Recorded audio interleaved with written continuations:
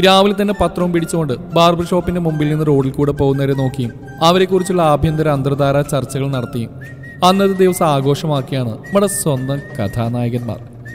നായകന്മാരെന്ന് പറയുമ്പോൾ നിങ്ങൾ വിചാരിക്കും കട്ടത്താടി ബുള്ളറ്റ് കലിപ്പ്. ഇത് വേറെ വേറെ സീൻ മക്കളെ. സുകേഷൻ കണാരൻ ദിനേശൻ പത്തൊമ്പതിനോടടുത്ത പ്രായം ലേശം നരച്ചു തുടങ്ങിയ താടി. ബാബർ ഷോപ്പിന്റെ മുമ്പിൽ പാർക്ക് ചെയ്ത് വെച്ചിരിക്കുന്ന സൈക്കിൾ. പിന്നെ പല്ല് മുഴുവൻ കാണിച്ചുകൊണ്ടുള്ള അവിഞ്ഞ ചിരി. ആഹ എന്താ അന്തസ് നായകന്മാരാവാൻ പറ്റിയ മുതൽസ്. വെറുതെ റോഡിൽ കൂടെ പോണവരെയും വരുന്നവരെയും വിളിച്ചു നിർത്തി വർത്തമാനം പറയുന്നതാണ് മെയിൻ ഹോബി ഐ മീൻ വെറുതെ ചൊറിഞ്ഞുകൊണ്ടിരിക്കുന്നതാണ് ഹോബി എന്ന്. ഇച്ചിരി പ്രായമുള്ളതുകൊണ്ടും തൊലിക്കട്ടി അപാറായതുകൊണ്ടും ഉളുപ്പില്ലാത്തതുകൊണ്ടും ആരും ഒന്നും പറയാനും നിൽക്കാറില്ല. മൂന്ന് പേരും ഇണപിരിയാത്ത കൂട്ടുകാർ. ഒരുമിച്ച് കളിച്ച് ഒരേ പാത്രത്തിലുണ്ട് ഒരേ പായൽ കിടന്ന് മുള്ളി ഒരേ സ്കൂളിൽ പഠിച്ച്. അത് ഒന്ന് തൊട്ട് മൂന്ന് വരെ. ചില്ലറ പഠിപ്പാണോ? ഒരേ ടീച്ചറുടെ കയ്യിൽ നിന്ന് അടിമേടിച്ച് ഒരേപോലെ മൂക്കളൊലിപ്പിച്ച് കയ്യിലിരിപ്പ് അത്രയ്ക്ക് നല്ലതായതുകൊണ്ട് പഠിപ്പ് നിർത്തി പതിനെട്ട് വയസ്സിലെ കള്ളവണ്ടി കയറി കോയമ്പത്തൂരെത്തി അവിടുത്തെ ബേക്കറിയിൽ നാലു മാസം അധ്വാനിച്ച്. പണിയെടുത്താൽ വിയർപ്പിന്റെ അസുഖം ഉണ്ടാവുമെന്ന് കരുതി ഭാര്യമാരെ തൊഴിലുറപ്പിന് വിട്ട് അന്തസ്സായി ചാളക്കറി കൂട്ടി ചോറുണ്ടെന്ന ഇമ്മിണി വലിയ കൂട്ടുകാർ മൂന്ന് പേരെ കൊണ്ട് കുടുംബത്തിന് വലിയ കാര്യമില്ലാന്ന് മനസ്സിലായി കാണുമല്ലോ. ഈ കൂതകളൊക്കെയാണ് നിന്റെ കഥയിലെ നായകന്മാരെ ആക്കുന്നതെന്ന് ചോദിക്കുന്നവരോട് ഹീറോ ആരെന്നും വില്ലാരെന്നൊക്കെ ക്ലൈമാക്സിൽ മാത്രം പറയുന്ന ന്യൂജൻഡ അപ്പൊ ഇനി കഥ. രാവിലെ മുതൽ ഇരിപ്പ് തുടങ്ങിയതാണ് മൂർ സംഘം. പേറ്റ് നോവെടുത്ത പെണ്ണിനെ പോലെ ഇടയ്ക്കിടെ ഞെരിവിരി കൊള്ളുന്നുണ്ട്. സംഭവം വേറൊന്നുമല്ല. ഇന്ന് അവർക്കൊരു ഇരയെ കിട്ടിയിട്ടില്ല. അപ്പോഴതാ സുകേഷൻ തോണ്ടി വിളിക്കുന്നു. ക്ലാ ക്ലാ ക്ലാ ക്ലീ ക്ലീ ക്ലീ ക്ലൂ ക്ലൂ ക്ലൂ. മുറ്റത്തൊരു മൈന. കണാരൻ തിരിഞ്ഞു നോക്കി. ഏതൊരുത്തന്റെ ബുള്ളറ്റിന്റെ പുറകിലിരുന്നുകൊണ്ട് തങ്ങളുടെ classmate. Note the point classmate ആണ്. ക്ലാസ്മേറ്റ് അല്ല. അങ്ങനെ ക്ലാസ്മേറ്റായ ജോസ്മോൻ ഷോപ്പിന്റെ മുമ്പിലിറങ്ങി അവന്മാരുടെ പോലൊക്കെ നാലാം തരത്തിൽ പഠിപ്പുറത്തെങ്കിലും ജോസ്മോൻ ആളൊരു അധ്വാനിയാണ്. റബ്ബറും ഇഞ്ചിയും ചാതിക്കയും പച്ചക്കറിയൊക്കെ ആയിട്ട് ആകെയുള്ള വസ്തുവിൽ അധ്വാനിച്ച് കുടുംബം പുലർത്തുന്നവൻ. മൂന്ന് പെൺമക്കളാണ്. മൂന്നുപേരെയും ഏതോ വലിയ സ്കൂളിൽ പഠിപ്പിക്കുന്നവൻ.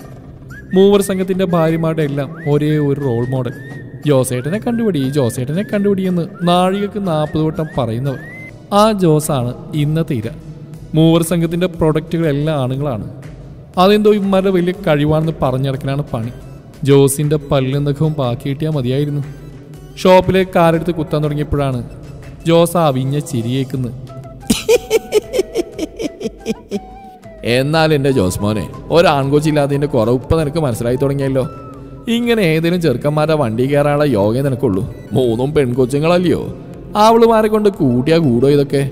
അതിപ്പോ എത്ര വലിയ കൊമ്പത്തെ പഠിപ്പാണെന്ന് പറഞ്ഞാലും എപ്പോഴും വീട്ടിൽ ആൺകൊച്ചു വേണമെന്ന് പറയുന്ന ഇതിനാ. നിനക്ക് മൂന്ന് ഒന്നും കൂടി നോക്കായിരുന്നു കേട്ടോ ചിലപ്പോ നാലാമത്തെ ആയിട്ട് ഒരു ആൺകൊച്ചിനെ തന്നായിരുന്നെങ്കിലോ ദൈവം. അയ്യോ നീ ആകെ ക്ഷീണിച്ചല്ലോ എന്റെ ജോസ്മോനെ സുഗേഷൻ ഇൻ ദി ഫ്രീ. ദിനേശന് ലോഡ് പുച്ഛത്തിൽ ലോഡിങ് ആയി. അതോ എന്റെ സുകേഷ? ഒന്നിനു പുറകെ ഒന്നായി മൂന്ന് പൊരാർ നിൽക്കുന്ന പെണ്ണുങ്ങൾ. ജോസഫിനെ ക്ഷീണിക്കാണ്ടിരിക്കോ പോരെന്നറിഞ്ഞിക്കുന്ന പെണ്ണുങ്ങളുടെ ഏത് തന്തയടാ? ആദ്യമില്ലാതെ നടക്കുക. അവൻ അതിന്റെ ആദ്യവും അലിയോടാ. എത്ര കൊമ്പത്തെ പഠിപ്പാണെങ്കിലും പെണ്ണുങ്ങൾ പോരെന്നറിഞ്ഞങ്ങനെ നിൽക്കാന്ന് പറഞ്ഞാൽ അതൊരു ഐശ്വര്യക്കേടാ. ഇതിപ്പോ മൂത്തതിന് പത്തിരുപത്തിരണ്ട് വയസ്സായി കാണില്ലയോ? വലിയ പഠിപ്പ് കഴിഞ്ഞെന്ന് പറഞ്ഞിട്ടെന്താ? നല്ല ചെറുക്കന്മാരൊന്നും വരുന്നില്ലയോ? ആലോചനയായിട്ട്. നടുക്കുള്ളതിന് പതിനെട്ടായി കാണില്ലേ? അപ്പൊ പിന്നെ അതിനും കെട്ടുപ്രായമായി ആലോചനകളും എല്ലാം വരുന്നുണ്ടോടാ? എങ്ങനെ വരാനാലേ? മൂന്ന് പെൺപിള്ളേരുള്ളടത്ത് പെണ്ണിട്ടാൻ ആര് നിൽക്കും എന്റെ ചെറുക്കനാണെങ്കിൽ ഞാൻ ചോദിക്കത്തില്ല കേട്ടോ. ബാധ്യതയല്ലായോ? ആകെയുള്ളത് ആ വസ്തു. എന്നാലും എന്റെ ജോസെ നിനക്ക് ഇങ്ങനെ ഒരു ഗതി തന്നെ വന്നല്ലോടാ. മൂന്ന് പേരും ആത്മനിർവൃതി അടഞ്ഞ പോലെ ദീർഘനിശ്വാസം എടുത്തു. അല്ല പിന്നെ ലവൾമാരുടെ ഒരു കോസേട്ടൻ. ജോസ് ഷാപ്പിലേക്ക് എടുത്തു വെച്ച പാദങ്ങൾ ഒന്ന് യൂട്ടേൺ അടിച്ച് മൂവർ സംഘത്തിനെ നേരെയാക്കി. ഷോ കർത്താവ് എടാ കാണാരാ സുകേഷ ദിനേശ. നിങ്ങൾക്ക് എന്റെ ഗതിയെക്കുറിച്ച് ഇത്രയും ചിന്തണ്ടാവുമെന്ന് ഞാൻ വിചാരിച്ചേ ഇല്ല. രാവിലെ തൊട്ട് അന്ത്യാകുന്നവരെ ഈ ഷോപ്പിന് മുമ്പിൽ ചൊറിയും കുത്തിയിരുന്ന ഒരു മണിക്കും പോകാതെ അച്ഛിമാർ കൊണ്ടിരുന്ന മൃഷ്ടാനോ കഴിച്ച് ഈച്ച ആട്ടിയിരിക്കുന്ന ഒരു ഗതിയും പരഗതി ഇല്ലാത്ത നിങ്ങൾക്കൊക്കെ എന്നെ കുറിച്ച് ഇത്രയും വിചാരം ഉണ്ടാവുന്ന സ്വപ്നത്തിൽ പോലും ചിന്തിച്ചില്ലടാ. നീയൊക്കെയാടാ യഥാർത്ഥ കൂട്ടുകാരി. അവനവരെ അമർത്തി കെട്ടിപ്പിടിച്ച്. അധ്വാനിക്കുന്ന ജനവിഭാഗത്തിന്റെ പ്രതിനിധി ആയതുകൊണ്ട് തന്നെ അവന്റെ കൈകളിൽപ്പെട്ടവർ ഞെരിഞ്ഞമർന്നു ആടാ സുകേശ നിന്റെ മോനെ കഴിഞ്ഞ ആഴ്ച വാസുവേട്ടന്റെ പറമ്പിൽ തേങ്ങ മോഷ്ടിച്ചെന്നോ മറ്റേ പറഞ്ഞ് പോലീസ് പിടിച്ചായിരുന്നു. അല്ലേടാ? അത് പിന്നെ ആമ്പിള്ളേരായ ചിലപ്പോ പോലീസ് പിടിച്ചെന്നിരിക്കും സ്റ്റേഷനിൽ കയറിയെന്നിരിക്കും അതിനൊക്കെ ഇപ്പൊ എന്നാന്നേ? അവനൊന്ന് പുച്ഛിച്ചു. മറ്റു രണ്ടുപേരും അത് ശരിവെച്ചു. ആഹാ അപ്പൊ പഠിപ്പിക്കുന്ന ടീച്ചറോട് അനാവശ്യം പറഞ്ഞതിന് പുറത്താക്കിയ നിന്റെ മോൻ ചെയ്തു. ആമ്പിള്ളേർക്ക് പറഞ്ഞ പണിയാവും. അല്ലേടാ ദിനേശാ? അതൊക്കെ ചോരി നീലുള്ള ആമ്പിള്ളേർക്ക് പറഞ്ഞ പണി തന്നെയാടാ. അത് ശരിയാ. നിന്റെ അല്ലേ മോൻ? അപ്പൊ ഇതൊക്കെ തന്നെ പ്രതീക്ഷിച്ചാ മതി. നാടാ ഒരാൺകൊച്ചില്ലാത്തതിന് കേടേ ഞങ്ങളുടെ ചെറുക്കന്മാരെ നെഞ്ഞത്ത് കയറി നിരങ്ങി നീ തീർക്കണ്ട. മൂന്ന് പെൺപിള്ളേരുള്ള ഒരു കുറവ് തന്നെയാ. മക്കളെ സുകേഷ ദിനേശ കാണാരാ മൂന്ന് പെൺപിള്ളേരാവുന്നതേ ഒരു കുറവാന്ന് നിന്നെ പോലെ മനസ്സിന് കുഷ്ടം പിടിച്ചവർക്കാടാ. എനിക്ക് എന്നും അതൊരു അഭിമാനാടാ. എന്റെ മക്കളെ മിടുക്കി കുട്ടികളാ. നിന്റെ ഒക്കെ മക്കൾക്ക് ബൈക്ക് വാങ്ങാനും ചെത്തി അടക്കാനും വേണ്ടി നീയൊക്കെ അണ്ണാച്ചിയുടെ കയ്യിൽ നിന്ന് വട്ടി പൊലിച്ച് വാങ്ങിക്കുമ്പോൾ അവരുടെ കയ്യിൽ നിന്നും ഇതുവരെ ഒരു പാത്തിന്റെ പൈസ കടെടുക്കാതിരിക്കാൻ കാരണം എന്റെ അവസ്ഥ അറിയുന്ന എന്റെ പൊന്നു മക്കളാടാ. എന്റെ ഭൂമി നിന്ന് വരുമാനം കൊണ്ട് ഒരു ആർഭാടമല്ലാതെ ജീവിക്കുന്ന എന്റെ പെൺമക്കൾ എനിക്ക് പൊന്മക്കൾ തന്നെയാണടാ. പിന്നെ അവരുടെ വലിയ പഠിപ്പ്. എന്റെ മക്കൾക്ക് സ്കോളർഷിപ്പ് കിട്ടിയാളാ പഠിക്കുന്നേ. സ്കോളർഷിപ്പ് എന്ന് പറഞ്ഞാലേ ഇങ്ങോട്ട് പൈസ കിട്ടിയിട്ടാ അവർ പഠിക്കുന്നേന്ന്. മൂത്തവൾ അടുത്ത ആഴ്ച ലണ്ടനിൽ പോവാ. അവിടെയാ ജോലി കിട്ടി അവളെ വിമാനത്തിൽ കയറ്റി വിടാൻ വേണ്ടി പോകുമ്പോൾ ഒന്ന് മുടി മുറിച്ച് വെച്ച് മിനിങ്ങി പോകാൻ വേണ്ടി വന്നാ. എന്റെ പെമ്പിളയുടെ കെട്ടിനെ കുറിച്ചൊന്നും എനിക്കൊരു ആധിയുമില്ല. അവർക്ക് എപ്പോൾ കെട്ടണം തോന്നുന്നോ അപ്പം കെട്ടിയാച്ചാ മതി. ഇരുപത്തഞ്ച് വയസ്സാകുമ്പോഴേക്കും കെട്ടണമെന്നൊന്നും ഇന്ത്യയിൽ നിയമമില്ലല്ലോടാ അവരുടെ സ്വപ്നങ്ങളൊക്കെ നിറവേറ്റട്ടെ. അതിന്റെ കൂടെ നിൽക്കുന്ന അപ്പനാവനാ എനിക്കിഷ്ടം. അല്ലാണ്ട് കണ്ട എംബോക്കികൾ പറയുന്നിട്ട് എന്റെ കോച്ചുങ്ങളുടെ സ്വപ്നങ്ങൾ ഇല്ലാതാക്കി അവരെ താലിച്ചടിൽ കുരുക്കിടാൻ. ഞാനൊന്നും നിന്നെപ്പോലെ ഓൾഡ് ടീംസ് അല്ലടാ ന്യൂജൻ തന്തയാ.